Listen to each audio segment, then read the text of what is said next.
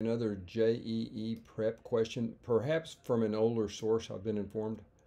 Uh, but what we have here is a function. Uh, it's a it's a rational function. I'm just copying it down here.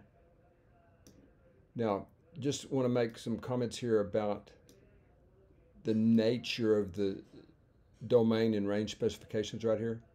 Notice that this rational function, uh, if you were to consider this equation equals to 2, Again, I won't show each step. It's very straightforward, but it's not, it can never be equal to 2. And that's easy to see if you just multiply through by uh, x minus 1. You would get 2x is equal to 2x minus 2, which certainly has no solution.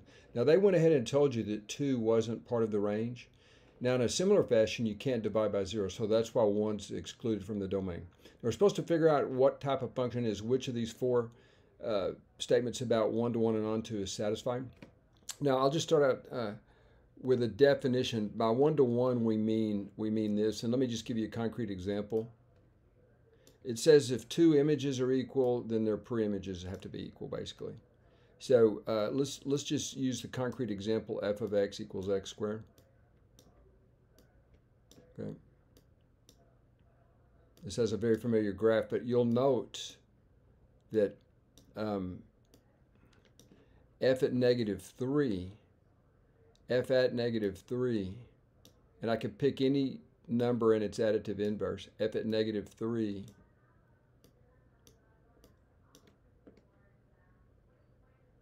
uh, f at negative 3 is equal to f at 3.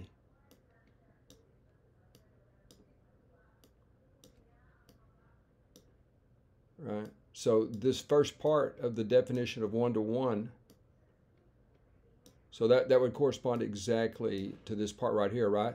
But notice uh, minus 3 clearly doesn't equal to 3, so uh, minus 3 does not equal to 3, right? So we can see that uh, f of x equals x squared is not a one-to-one -one function unless you uh, reduce or restrict the domain. So negative 3 does not equal to 3. So just functionally, uh, this just from the definition of function, you can see this is not one-to-one, -one, okay? So not one-to-one -one right here. I'll just put not. And for the sake of brevity, I'll just do 1 dash 1, not one-to-one. -one. Okay. Now, another thing that's quite useful as far as the way the rest of this problem is going to go is notice that on the graph of x squared, okay, uh, we'll locate uh, 3 here and minus 3 just to cross from it symmetrically. Notice that these two points, minus 3f at negative 3, which I won't write down, and 3f at 3, they connect by a horizontal line here. Okay, Horizontal line connection. So this horizontal line test is a way to check to see if a function uh, is one-to-one, -one, okay? Now also, we can also see very clearly up here that 0, 0 would be a point on the graph, right? There's no, it's both an x and y intercept. So 0, 0 is clearly a point on the graph. Okay, which means, which means that 0, 0 is this point right here. Okay, and y'all, this would be the line x equals 1.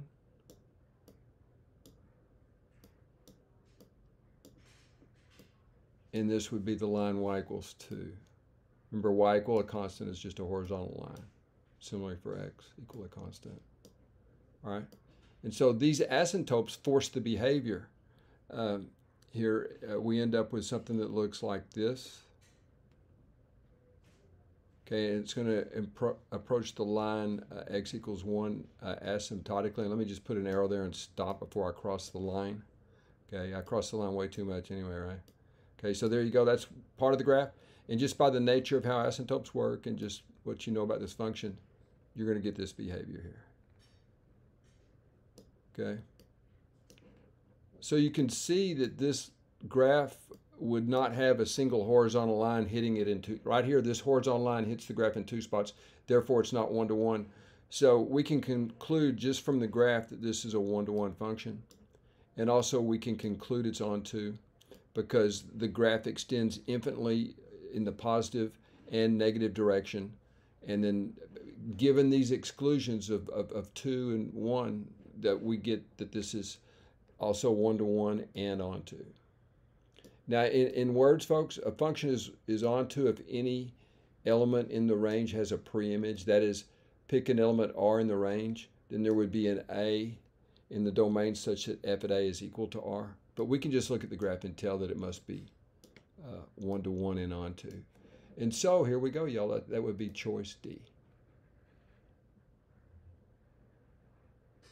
Thanks for viewing.